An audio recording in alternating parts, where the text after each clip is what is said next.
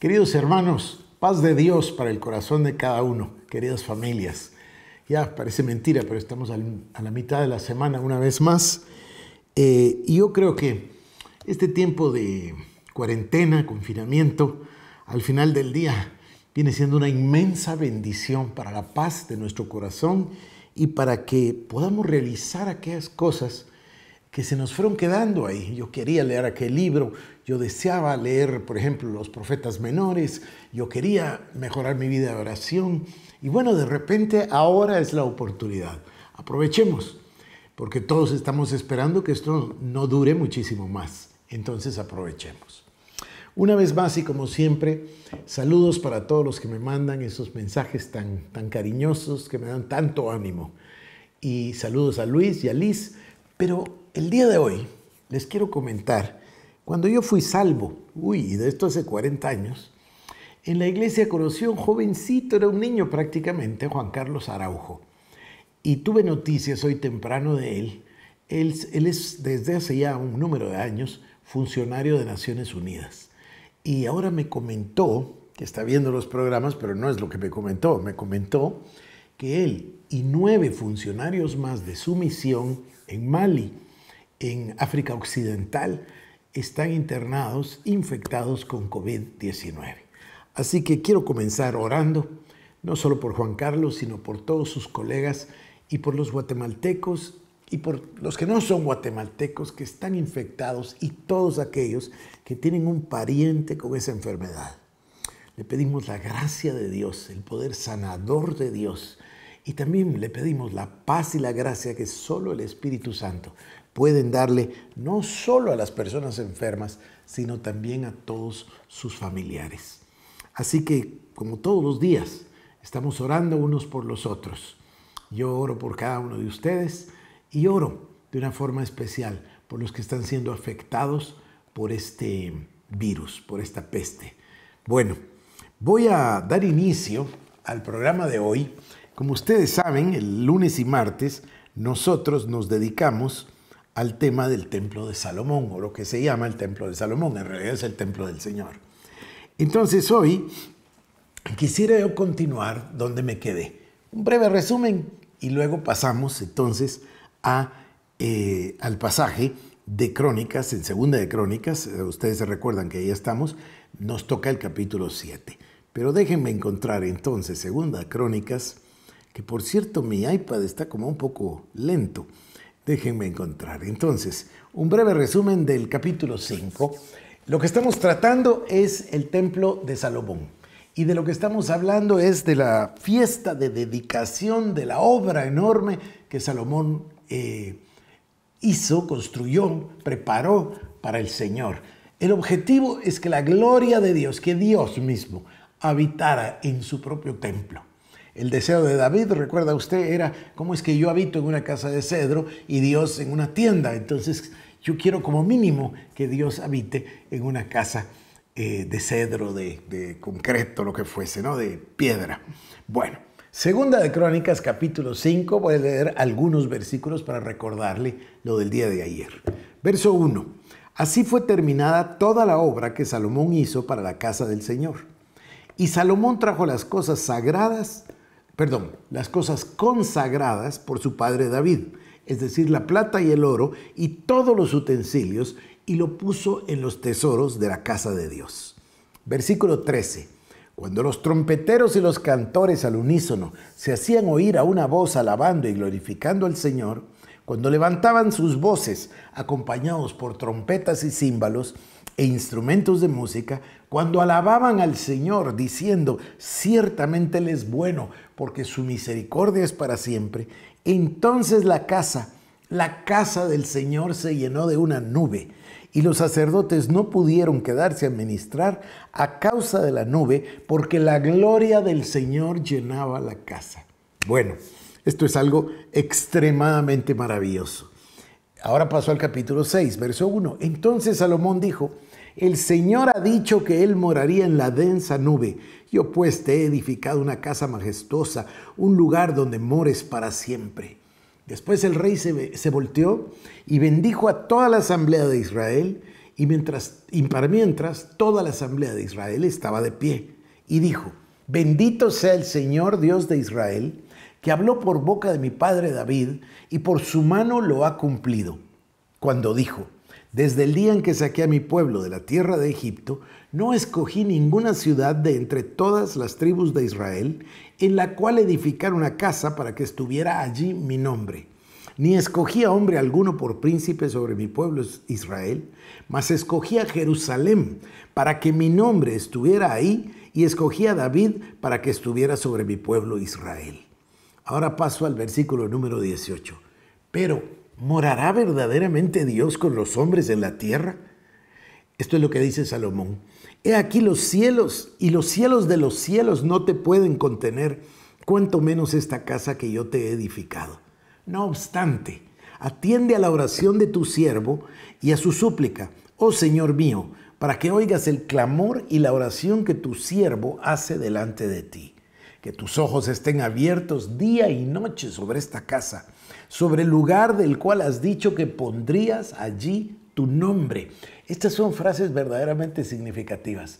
El lugar que le escogió y puso ahí su nombre. Acuérdense que no hay nada más santo que el nombre de Dios.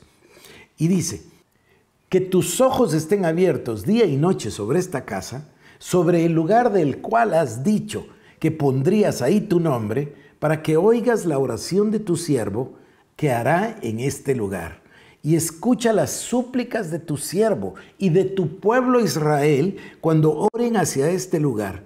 Escucha tú desde el lugar de tu morada, desde los cielos escucha y perdona.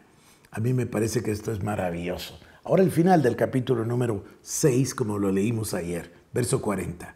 Ahora, oh Dios mío, te ruego que tus ojos estén abiertos y tus oídos atentos a la oración elevada en este lugar Ahora pues levántate, oh Señor Dios, hacia tu reposo, tú y el arca de tu poder. Que tus sacerdotes, oh Señor Dios, se revistan de salvación y tus santos se regocijen en lo que es bueno. Oh Señor Dios, no rechaces el rostro de tu ungido. Acuérdate de tus misericordias para con tu siervo David. Y ahora nosotros vamos a pasar al capítulo número 7, aquí en el segundo libro de Crónicas. Esta es es la fiesta de la dedicación y luego viene ese versículo tan especial que nosotros eh, siempre invocamos. Así que, es el verso 14, pero déjeme leerlo entonces. Desde capítulo, perdón, desde Segunda Crónicas, capítulo 7, a partir del verso 1. Y cuando Salomón terminó de orar, descendió fuego desde el cielo y consumió el holocausto y los sacrificios, y la gloria del Señor llenó la casa. Los sacerdotes no podían entrar en la casa del Señor porque la gloria del Señor llenaba la casa del Señor. Y todos los hijos de Israel, viendo descender el fuego y la gloria del Señor sobre la casa, se postraron rostro a tierra sobre el pavimento y adoraron y alabaron al Señor diciendo, ciertamente Él es bueno, ciertamente su misericordia es para siempre. Este es el momento cumbre, como yo le decía ayer. Este es, este es el momento más grande, álgido. Dios Todopoderoso que decidió crear al ser humano. Dios Todopoderoso que decidió sacar de los lomos de Abraham y de Saraí, después Abraham y Sara, sacar a un pueblo para sí. Después que este pueblo fue a la esclavitud de Egipto, Dios decidió sacarlos con portentos, con señales, maravillas y milagros bajo el liderazgo de Moisés y posteriormente de Josué. Los trasladó a la tierra de la promesa. Se llevó a Moisés al monte y les entregó la ley para que viviesen de acuerdo a la ley, para que fuesen un pueblo único, para que fuesen su pueblo y él su Dios. Esto es maravilloso. Y luego le da un modelo a, Moisés para el tabernáculo. Ahora, yo quiero llamarle la atención ahí, porque a lo mejor a veces pensamos nosotros de una forma muy natural y pensamos que ese modelo más bien es una maqueta y que esa maqueta le está diciendo el ancho y el largo y de qué forma es el atrio y de qué forma es el altar y de qué... Sí, todo eso es verdad, pero es mucho más allá de eso, muchísimo más allá. Dios se llevó a Moisés al monte cuando Moisés estuvo en la presencia de Dios, Dios le permitió ver el modelo, pero no el modelo del tabernáculo, el modelo de la creación de Dios. Voy a ponerle un ejemplo y podría ponerle muchos, pero le voy a poner uno. Cuando Dios le habla de tres partes, le está hablando de toda la creación. Usted observe y la creación de Dios está hecha a través de múltiplos del número tres. Fíjense, usted encuentra los dones del Espíritu, tres grupos de a tres. Encuentra el fruto del Espíritu igual. Y aquí le voy a hablar del hombre. Ese modelo es, es nosotros. Así es como estamos diseñados, como el modelo del tabernáculo. Fíjese usted, el atrio es el cuerpo, el lugar santo es el alma y el lugar santísimo es el espíritu del hombre. Y cada uno de estos tres tienen tres partes. Mire, si nosotros nos fuéramos por el tabernáculo o por el templo, vamos a ir a parar al ser humano. El lugar santísimo es el espíritu y el espíritu del hombre tiene tres partes. Se dice que el espíritu del ser humano tiene intuición, comunión y conciencia. Bueno, intuición es esa parte donde percibimos lo espiritual. Eso que algunos dicen un sexto sentido, otros le llaman discernimiento. Bueno, es el desarrollo de esa área del espíritu que es la intuición y sirve para que nosotros podamos percibir lo que no percibimos con la vista, el oído, el tacto, el olfato. ¿Y qué me comí? Uh, ¿Y qué, qué me comí? Tacto, olfato, oído, vista y, Dios mío, me falta uno de los cinco sentidos. El, el, gusto, el gusto, el gusto. Bueno, entonces, lo que no percibimos con los cinco sentidos, lo percibimos con eso que se llama intuición. Luego hay otro que se llama conciencia. Bueno, el área del espíritu humano, de la conciencia, es la que discierne lo que está bien y lo que está mal. Nosotros naturalmente sabemos lo que es bueno y naturalmente sabemos lo que está malo. Claro, hay una expresión en el Nuevo Testamento que dice que tenemos la ley escrita en nuestros corazones. También se dice que allá en el, jardín del Edén, a causa del pecado, se perdió el imago Dei, que quiere decir imagen de Dios, pero que no se perdió completamente. Incluso la parábola del buen samaritano dice que el hombre quedó medio muerto, porque es cierto, ¿verdad? Murió espiritualmente, fue separado de Dios, pero quedó vivo físicamente. Es perfecto lo que dice medio muerto. Bueno, regreso entonces. Tenemos intuición y tenemos conciencia, pero luego tenemos una tercera parte que se llama comunión. Ese es el lugar en el espíritu del ser humano porque a veces uno, a veces yo digo, ¿verdad? Todo el tiempo espíritu del hombre, bueno, del ser humano, para incluir hombre y mujer, el, la intuición, la comunión y la conciencia. La comunión es ese lugar en el ser humano donde el Espíritu Santo habita. Es un habitáculo creado dentro del espíritu humano para que ahí quepa perfectamente Dios para que ahí habite el Espíritu Santo en nuestro ser. Ese es el lugar santísimo. El lugar, el atrio, por supuesto, es el cuerpo. Voy a hablar mucho menos del cuerpo. Entonces el cuerpo también está hecho de tres partes, sangre, carne y huesos. Interesante, ¿no? los huesos producen la sangre. La sangre mueve a los músculos eh, mantiene vivos a los músculos, perdón, y los músculos sostienen a los huesos, y ahí se da una retroalimentación. Pero hablemos entonces del lugar santo. Si el cuerpo constituye el atrio y el espíritu el lugar santísimo, nos queda el lugar santo. Y esto es el alma del ser humano. Y también tenemos tres partes en el alma. Tenemos nosotros emociones, intelecto y voluntad. Bueno, las emociones, las emociones del alma son estas... Ah, ¿cómo le diría yo? Percepciones no le quiero decir, sentimientos. En realidad la palabra, el sinónimo viene siendo sentimientos. Son estos sentimientos engañosos. Estos son los que le producen el problema al ser humano. ¿Por qué? Porque ahí encuentra la ira, ahí encuentra los celos, ahí encuentra las envidias, ahí encuentra las molestias, ahí encuentra el amor. Usted diría, pero el amor es maravilloso. Mm, depende, depende si estamos hablando del amor ágape o si estamos hablando del amor eros. Depende, ¿no? Hay tres clases de amor. Pero, en fin, estas emociones tienen que ser literalmente domadas, tomadas por el Espíritu Santo. ¿Por qué? Porque esas emociones son las que le brindan satisfacción al ego y esas emociones son las que le provocan tanto problema al ser humano. Fíjese que no es el cuerpo el que genera un problema y tampoco es el espíritu el que genera el problema. Los problemas están en el alma. El alma necesita ser entrenada, necesita ser domada es una cosa muy interesante.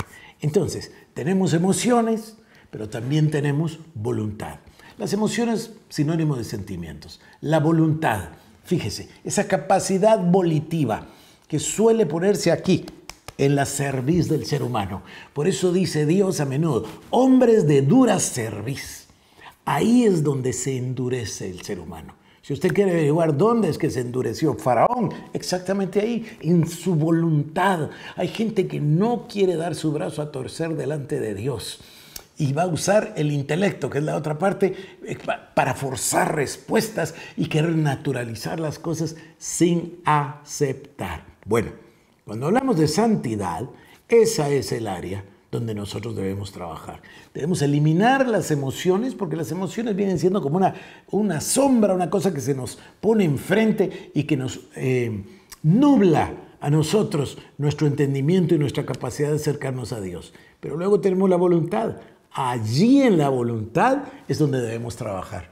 Por eso es que le dicen, ese hombre, esa señora, esa mujer tiene fuerza de voluntad. Bueno, el que tiene fuerza de voluntad dirige su voluntad, dirige la nave de su vida. A mí me parece interesantísimo. Entonces, tenemos emociones, tenemos voluntad, que es la que se debe rendir a Cristo, y número tres, tenemos intelecto. El intelecto es lo que nos permite pensar, obvio que es mente o intelecto, lo que nos permite pensar, lo que nos permite a nosotros razonar, lo que nos permite comprender. Ahora, se habla a veces de que hay cristianos que son muy intelectuales. Hay otros cristianos que dicen son muy carnales. Bueno, nosotros quisiéramos ser de los otros cristianos que dicen son muy espirituales, ¿verdad? Depende a dónde se incline usted. Lo que estoy tratando de decirle de una manera exageradamente breve es que el modelo que Dios le enseñó a Moisés sirve para todo, no solo para el templo, sino que para todo. Ahora, como se me va el tiempo, déjeme pasar al capítulo 7 de Segunda Crónicas y ver esta celebración maravillosa. Cuando Salomón terminó de orar, descendió fuego de Dios Fuego desde el cielo, consumió el holocausto, los sacrificios, la gloria. La gloria del Señor llenó la casa. Bueno, eso es lo que usted quiere en el lugar santísimo de su corazón. Eso es lo que yo quiero en el lugar santísimo de mi corazón. Y eso solo lo podemos conseguir a través de la relación con Dios, a través de lo que denominamos la santidad. Fíjese, antes Hace muchos años, cuando yo era nuevo en Cristo Jesús, habían predicadores que decían, es que la santidad es no tomar, no fumar y no tener otra mujer. Eso es muy ridículo, es simplista, elemental. Ay, ay, ay, yo no sé ni cómo les creíamos y, y aceptábamos todas esas cosas. La santidad no es eso. La santidad es rendirle todo a Dios, poner a Dios en el centro de nuestras vidas. Si Cristo es el centro de mi vida, Ahí se van todos los pecados, se van yendo, yendo. ¿Por qué? Porque yo estoy ocupado en cuerpo, alma y espíritu de servir y de agradar a Dios. Eso es lo que quiere decir en realidad desplazar al yo, desplazar al ego del centro de la vida y poner a Cristo y la santa voluntad de Cristo. Y por supuesto, la palabra de Dios, eso es lo que en realidad necesitamos. Versículo 4. Entonces el rey y todo el pueblo ofrecieron sacrificio delante de Dios, y el rey Salomón ofreció un sacrificio de 22 mil bueyes y 120 mil ovejas. Así dedicaron la casa de Dios el rey y todo el pueblo. Los sacerdotes estaban en sus debidos lugares, también los levitas con los instrumentos de música para el Señor, los cuales había hecho el rey David para alabar al Señor, porque para siempre es su misericordia. Cuando David ofrecía alabanza por medio de ellos, los sacerdotes tocaban trompetas frente a ellos y todo Israel estaba de pie. Salomón consagró también la parte central del atrio que estaba delante de la casa del Señor, pues ahí habían ofrecido los holocaustos y la grosura de las ofrendas de paz, porque el altar de bronce que Salomón había hecho no podía contener el holocausto, el holocausto la ofrenda de cereal y la grosura. Salomón celebró la fiesta en aquella ocasión por siete días, y todo Israel con él. Una asamblea muy grande, que vinieron desde la entrada de Amat hasta el torrente de Egipto. Y al octavo día tuvieron una asamblea solemne porque habían celebrado la dedicación del altar por siete días y la fiesta por siete días. Entonces, El día 23 del mes séptimo, Salomón envió al pueblo a sus tiendas, gozosos y alegres de corazón, por el bien que el Señor había mostrado a David, a Salomón y al pueblo de Israel. Así acabó la casa del Señor y el palacio del rey y llevó a cabo todo lo que se había propuesto hacer en la casa del Señor y en su palacio. Y el Señor, mire, estos versículos 12, 13 y 14. Y el Señor se apareció a Salomón de noche y le dijo, he oído tu oración y he escogido para mí este lugar como casa de sacrificio, el templo, el lugar del monte Moriah.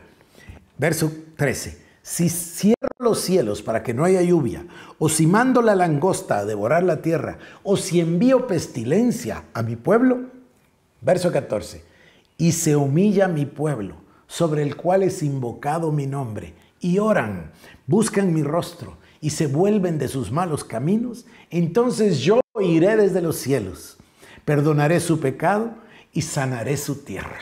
Usted sabe que ese es un versículo clásico para todos nosotros los intercesores. Verso 15. Ahora mis ojos estarán abiertos y mis oídos atentos a la oración que se haga en este lugar. Pues ahora he escogido y consagrado esta casa para que mi nombre esté ahí para siempre.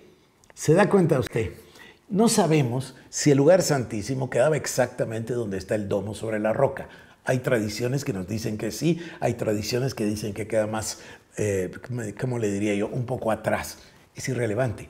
Dios escogió ese lugar, ese sitio exacto, para que ahí more su nombre para siempre. Para siempre quiere decir para siempre. Así que ahí es el lugar donde estará el tercer templo, que por cierto, perdone cómo me he tardado en llegar, ¿verdad? Pero ya vamos a lograrlo, ya vamos a lograrlo. Entonces dice Dios, Ahora mis ojos, verso 15, estarán abiertos y mis oídos atentos a la oración que se haga en este lugar. Pues ahora he escogido y consagrado esta casa para que mi nombre esté ahí para siempre. Y mis ojos y mi corazón estarán allí todos los días. Y en cuanto a ti, si andas delante de mí como anduvo tu padre David, haciendo conforme a todo lo que te he mandado, y guardares mis estatutos y mis ordenanzas, yo afirmaré el trono de tu reino, como pacté con tu padre David, diciendo, no te faltará hombre que gobierne en Israel. A mí me parece que esto es maravilloso.